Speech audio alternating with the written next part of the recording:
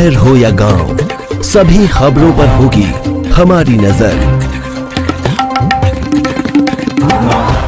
राजनीतिक सांस्कृतिक खेलकूद क्राइम सामाजिक एजुकेशन धार्मिक सभी तरह की खबरें। देखिए। स्वागत करता हूँ आज और धन्यवाद भी करता हूँ आज सभी साथियों का कि लंबे समय से राजनीति में मैं हूँ और उसमें मुझे एक पूरा साथ मिला आप लोगों का आज तक। उसके लिए मैं अपने सभी पत्रकार बंधुओं का धन्यवाद करता हूँ आज। और आज जो ये आपसे रूबरू होने का मेरा विषय था, उनतीस तारीख की जो जन आक्रोश रैली है, उसके ही विषय में आप लोगों से रूबरू हुआ हूँ मैं। और जन आक्रोश रैली को लेकर हमारी हरियाणा युवा कांग्रेस की दिल्ली में बैठक हुई थी। उसके अंदर यूथ कांग्रेस के पदाधिकारियों की विशेष तौर पर जिम्मेवारियाँ लगाई गई थी साथ बड़े अच्छे तरीके से दल बल के साथ दिल्ली पहुँचे राहुल जी की अगुवाई में।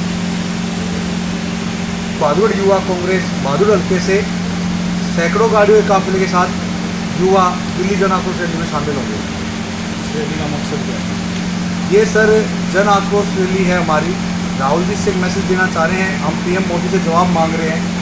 जो पेट्रोल डीजल के जो रेट बढ़े हुए हैं, कानून व्यवस्था बिगी हुई है, और भी कई ऐसे मुद्दे हैं जिनका आज आप मीडिया के अंदर देख रहे हो। सबके ऊपर हम जवाब मांगते हैं सरकार कि जो जन के अंदर आक्रोश है, उसी को मीडिया के माध्यम से पूरे देश रैली करके एक आवाज़ बनना चाहते हैं।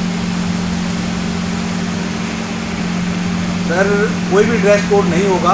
मैं यूथ कांग्रेस का पदाधिकारी होने के नाते यूथ कांग्रेस के झंडे के नीचे मैं जाऊँगा, सर।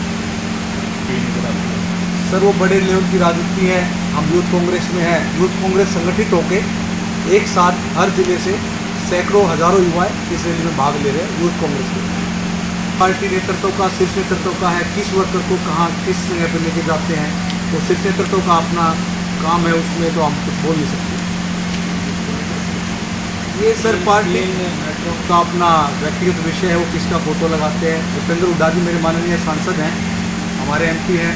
उनकी अगुवाई में हम कार्य कर रहे हैं यहाँ पे। तो मैं अपना बता सकता हूँ, मैंने मैं उनके साथ हूँ और उनके ही नेतृत्व में हम दिल्ली जा रहे हैं।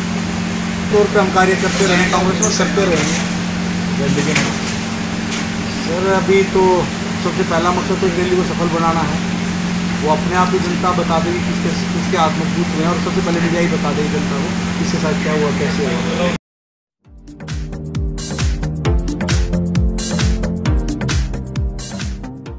शहर हो या गाँव, सभी खबरों पर होगी हमारी नज़र।